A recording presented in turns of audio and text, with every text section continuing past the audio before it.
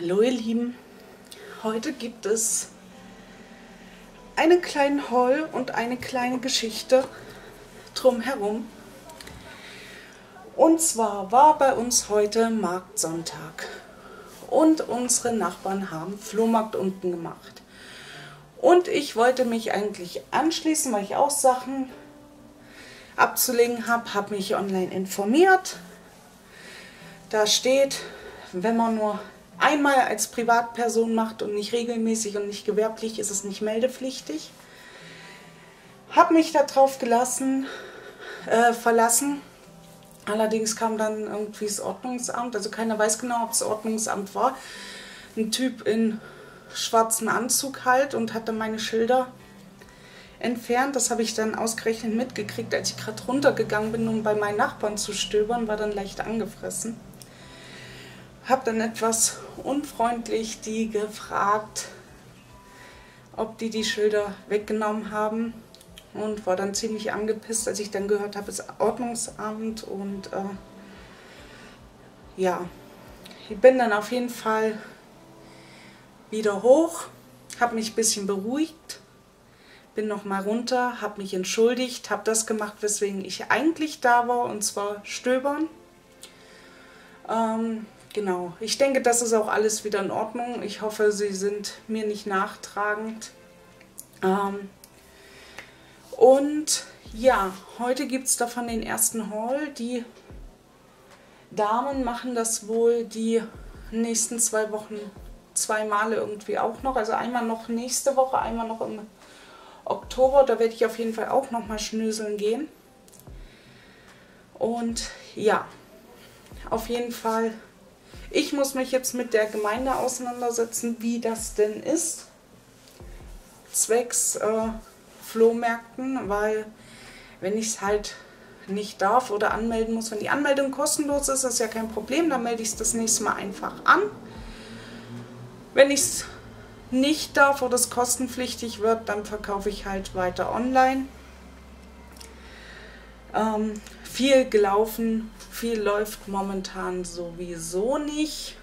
Die, der Markt ist relativ übersättigt. Ich möchte das Zeug einfach loswerden und es muss jetzt endlich eine Lösung her. Seit Jahren mache ich damit rum und ja, genau, das ist so eine kleine Anekdote. Die wollte ich euch einfach mitgeben, einfach um euch zu zeigen, wenn ihr mal wütend seid und das kriegt mal der Falsche ab, ist das überhaupt kein Problem. Geht einfach hin, entschuldigt euch, klärt das. Mir geht es jetzt viel besser, wo ich mich entschuldigt habe, weil die Damen können wirklich nichts dafür und die sind auch super nett und ja, man will ja auch die Nachbarschaft ein bisschen pflegen und entsprechend habe ich auch tolle Sachen dort gefunden und auch direkt gekauft. Zum einen habe ich dort Paper Pads mitgenommen. Keine Ahnung, ob ich da jetzt... Ich denke mal, der Preis war ganz okay. Ihr seht, was drauf steht. Seht ihr es? Ihr seht es nicht. Jetzt seht ihr es, 2,50. Ich glaube, ein paar von den Blöcken habe ich schon mal. Was schadet nie, die ein zweites Mal zu haben. Der ist halt so rosa-grün. Hier sind aber noch ein paar Bögen aus einem anderen Block mit drin. Äh, das werde ich dann wahrscheinlich wieder ausschneiden mit einem Plotter. Genau.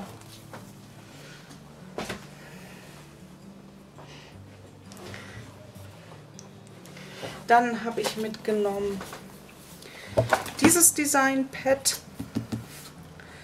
ähm, mit so schönen Pastellblumen. Ich glaube, das habe ich auch schon mal entweder schon mal gehabt, schon mal verbastelt oder ich habe es tatsächlich noch. Aber viele Papiere äh, erinnern mich ein bisschen an ein oder sehr ähnlichen. Ich weiß, dass ich davon schon welche verbastelt habe. Und damals, glaube ich, nachkaufen wollte und die nicht mehr gekriegt habe. Dann habe ich hier ein diese lilanen Papiere erinnern mich auch an was, was ich schon habe, aber ich glaube, ich hatte die in einem anderen Block mit drin. Die Sprüche auf jeden Fall. Aber die hier hinten sagen mir nichts. Und das hier sagt mir auch nichts. Also entweder ich hatte den Block vielleicht auch gebraucht gekauft und da fehlten dann auch schon ein paar Sachen. Oder die haben die Papiere einfach in mehrere Blöcke gepackt. Was ja auch möglich ist. Und dann habe ich noch den Zettel tun wir mal weg. Den brauchen wir nicht mehr. Habe ich hier noch einen. Ist immer ein Bogen foliert. So, jetzt war wieder mal der Akku leer. Also ich nehme noch mal den letzten und blätter dann noch mal durch.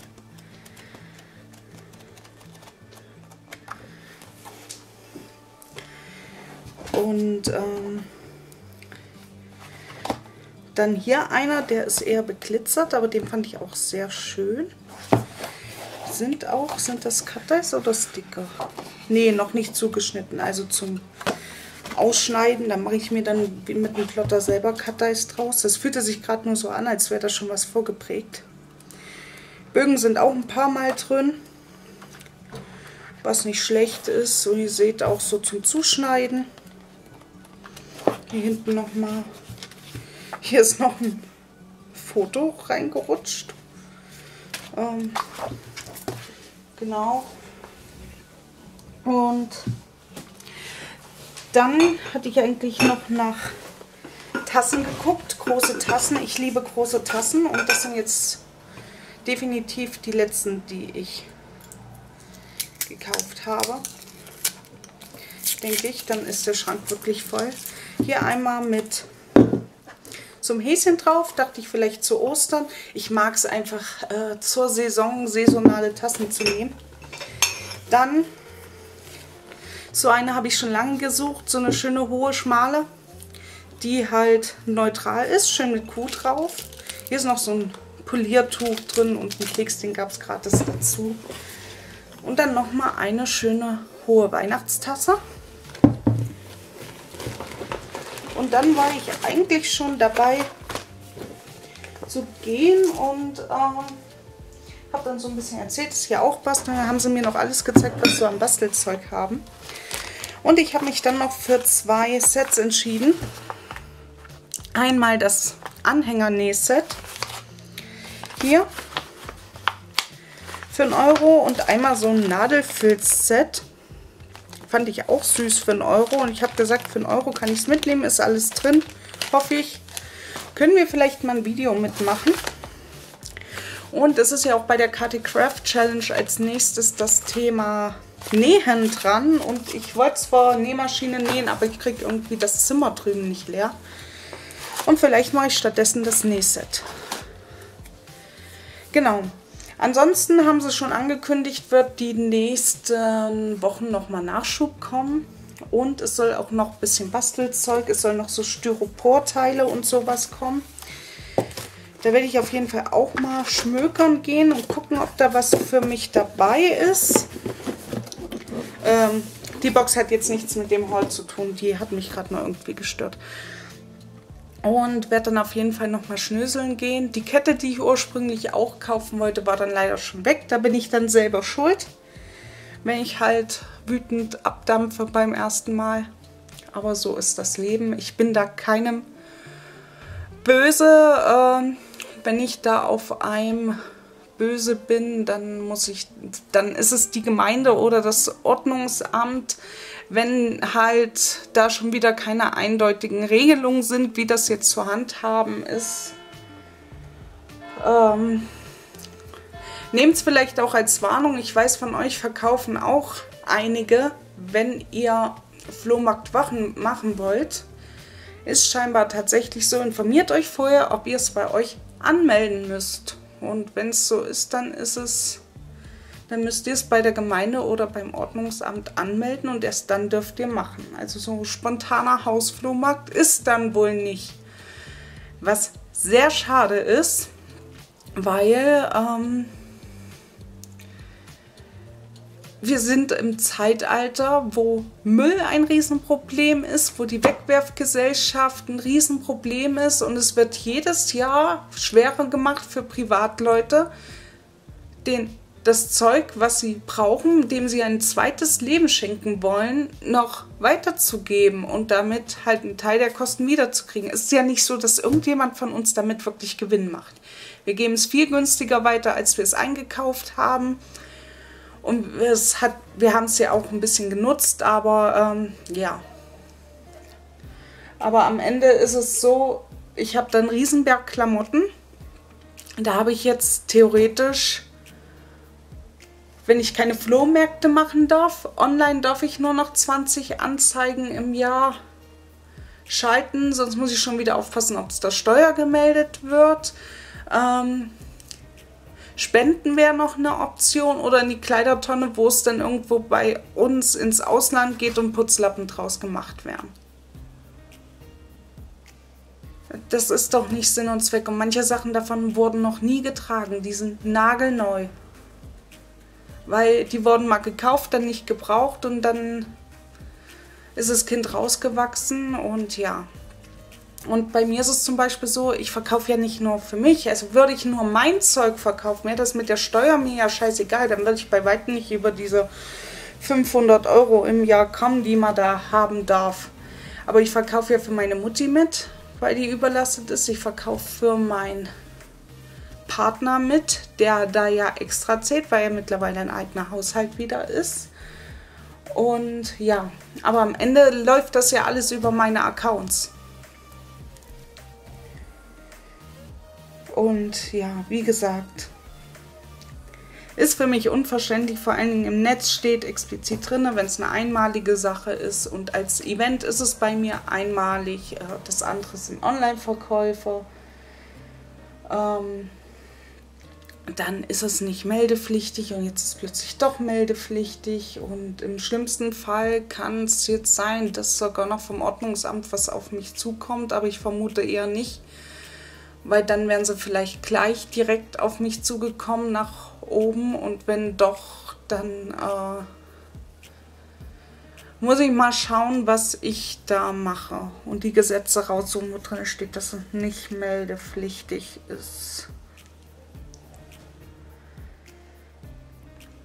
ja, naja, egal. Ich wollte jetzt hier eigentlich nicht mich beschweren. Ich wollte euch nur die kleine Anekdote mitgeben, weil ähm, zwei Sachen daraus habe ich gelernt. Unsere Gesetzgebung äh, ist immer noch nicht da angekommen, wo sie sollte. Nachhaltigkeit sollte belohnt, nicht bestraft werden. Und das Zweite ist, wenn mal jemand Falsches den Frust abkriegt. Und das war heute definitiv der Fall. Die unten konnten gar nichts davor. Die hatten Kunden. Ich habe hab da einfach ein bisschen meine Wut. Also ich habe die jetzt nicht arg zusammengeschissen. Ich war halt ein bisschen aufgebracht und habe mich auch, hatte Diskussionsbedarf und die Damen waren halt dafür der falsche Ansprechpartner in dem Moment. Ähm, ist ja auch alles gut. Ich wollte ja eigentlich, wollte ich nur wissen, wer die Zettel weggenommen hat, damit ich weiß, bei wem ich nachfragen muss. Und das weiß ich jetzt, damit war meine Frage beantwortet und dann habe ich mich entschuldigt und ich äh, denke, damit ist das auch okay. Und ich habe ja tolle Sachen noch gefunden. Also Ende gut, alles gut. Und jetzt treffe ich mich gleich zum Sport. Da kann ich noch mal richtig Frust ablassen. Und ja.